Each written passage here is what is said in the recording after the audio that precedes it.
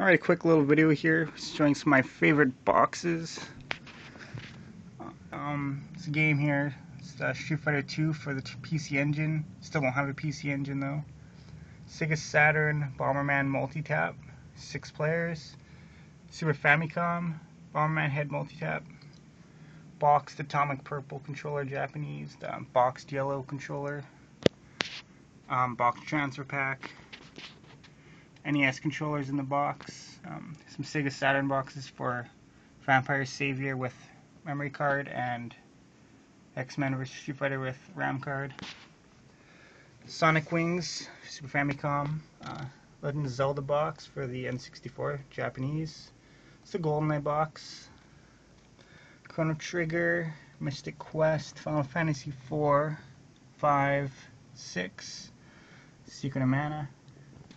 Contra 3, Zombies Ate My Neighbors, Street Fighter 2, Super Mario Kart, Bomberman 64, the one that wasn't released in North America. We got a very good deal on this game. When paid 20 bucks.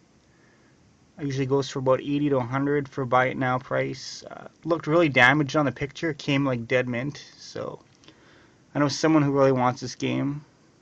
Mr. WJ on the rankings. One of the few he needs.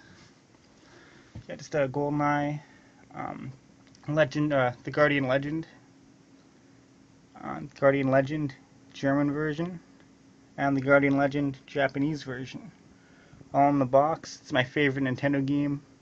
One of my favorite games of all time as well, so I have all three versions boxed, complete. And over here I just got um, two Virtua gun guns for the Sega Saturn for shooting games. Boxes are quite big.